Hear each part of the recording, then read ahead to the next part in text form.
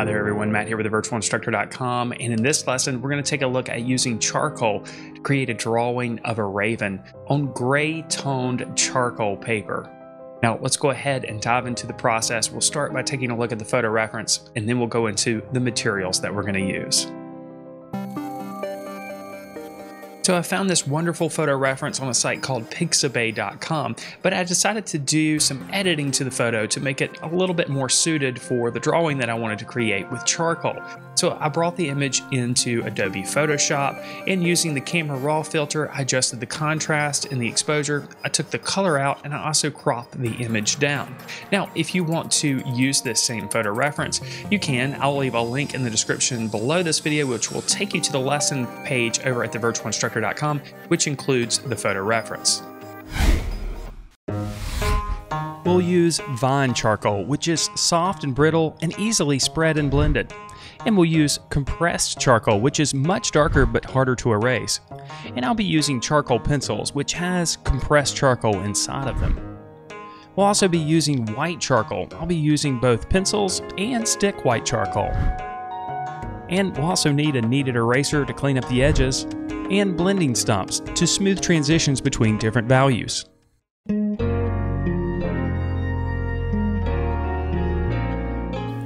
We'll get started here on our gray charcoal paper with a stick of vine charcoal. You can see I'm holding this charcoal stick in between my forefinger and my thumb. So I'm not holding it like a traditional pencil. Instead, I'm holding it like a stick. And I'm making marks using the side of the material here on the surface. As you can see, this approach is very, very loose, so we don't have to be too concerned with making perfect lines or anything like that. We're just focused on the basic shapes of our subject here. And it's okay if some of the material smears and blends on the surface. That'll naturally happen when you use vine charcoal here. We're just using this sketch as a preliminary step. We'll slowly develop the details and refine the drawing as we go through the process. Even though we're not ready to define the details at this point, we'll go ahead and define the location of the eye since it's rather important, and we'll also refine some of the outer edges of the contours. Then we can go into the body and start adding some of our darker values. You can see here I'm still being very, very loose with my marks.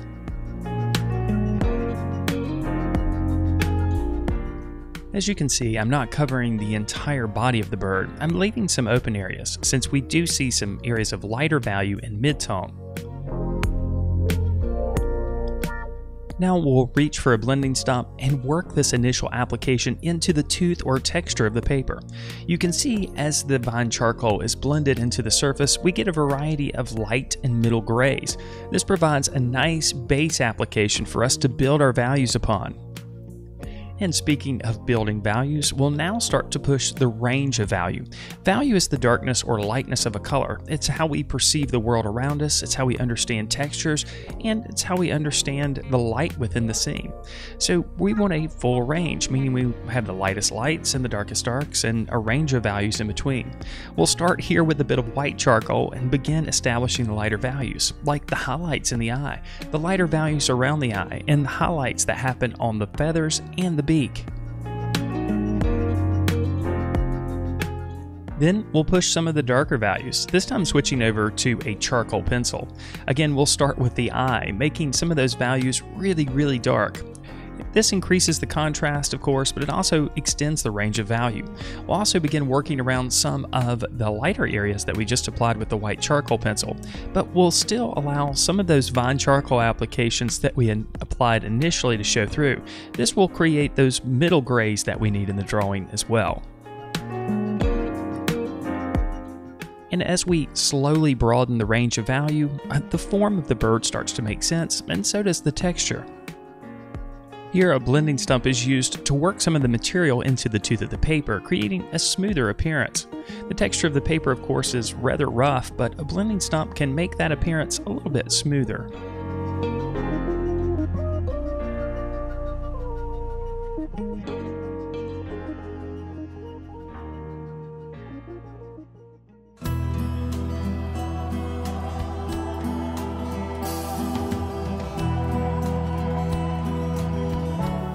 Now we'll just simply continue this process of building up a range of value and increasing the contrast as we work our way down the body of the bird. And as we continue this process, we should think about the directional strokes that we make with both the charcoal pencils but also with the blending stump. These directional strokes should flow in the same direction as the small feathers grow, and also around the form of the bird. So, even though the value describes the form of the bird and also the texture, the directional strokes also play a role in communicating the form as well. As you'll notice, when we work with charcoal, we start with looser applications.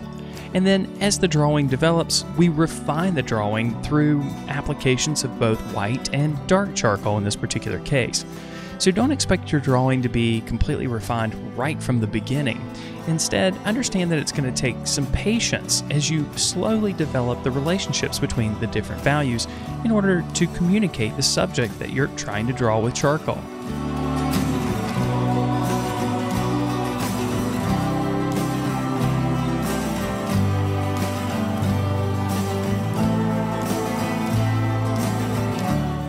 We'll gradually continue working our way down the back side of the body of the bird, making values darker and making them lighter where necessary.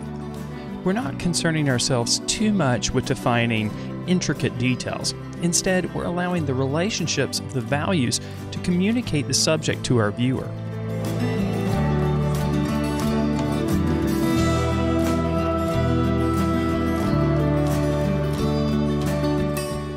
Course, one of the best things about working with both black and white charcoal is that you have total control over the range of value. Meaning, if you want to go back and make areas lighter, it's really easy to do so with the white charcoal pencil. And of course, if you need to make areas darker, you can go right over the top of areas that you've established as middle grays, making them much darker. In this way, drawing with charcoal is very similar to working with an opaque painting medium.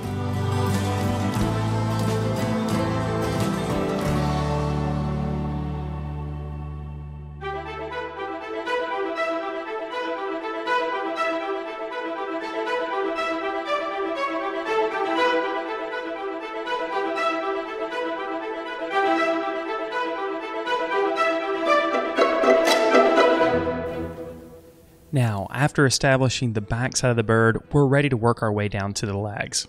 Here again, the process remains the same. It's simply a process of adding both dark and light charcoal to create that full range of value. Again, we're thinking about the directional strokes, making sure that they flow in accordance with the form of the leg. Where we see the small feathers, we'll pull strokes upward towards the body. And where we see the sections that we see in the leg and the talon, of course, we'll allow these lines to flow over the form, curving slightly.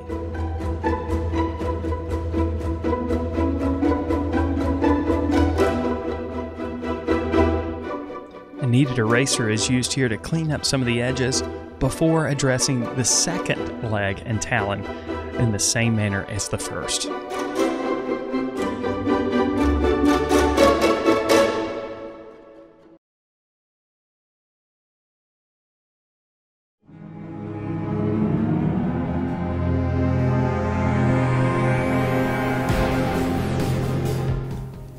It's time to address the background. We'll start with a white charcoal pencil, going around all of the outer contours of the body of the bird, refining and defining the edges.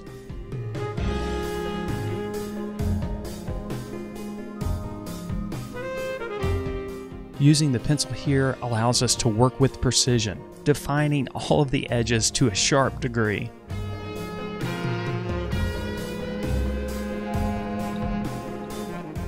But of course, this pencil would take a long time to cover the background completely, so we'll switch over to using a stick for the remaining areas. We'll go ahead and cover the entire picture plane using vigorous strokes.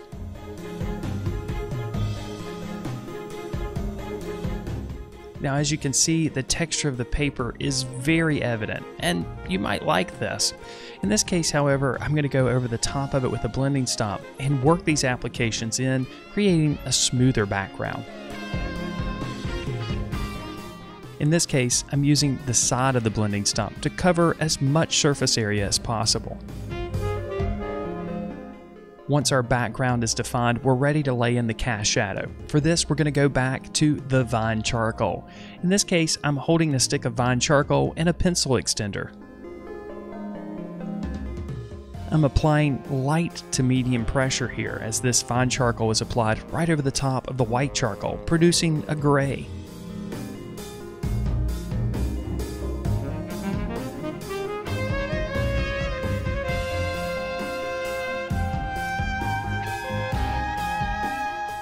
After our initial application of the vine charcoal, we can go back with the blending stump and work this application into the tooth of the paper, creating a smoother appearance.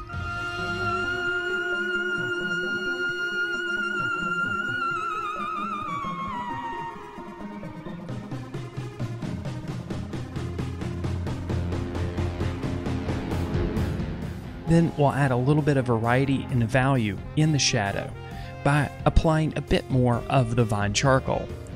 The shadow is slightly darker in areas where the form comes close to the surface, like at the bottom portions of the talons. Then we'll go back with a sharpened black charcoal pencil and add a few stray feathers.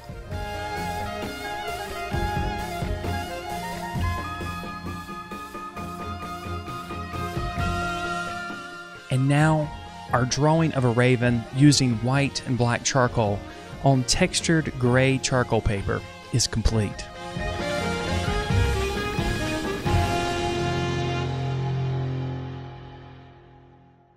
Thanks so much for watching this video. I hope you enjoyed it. I hope you were able to pick up a couple of things here and there. If you're new to the channel here on YouTube, I suggest that you subscribe. We cover a broad variety of drawing and painting media and subjects here. If you want to check out three of our course videos and ebooks for free, you can do so. I'll leave a link in the description below so you can go check that out.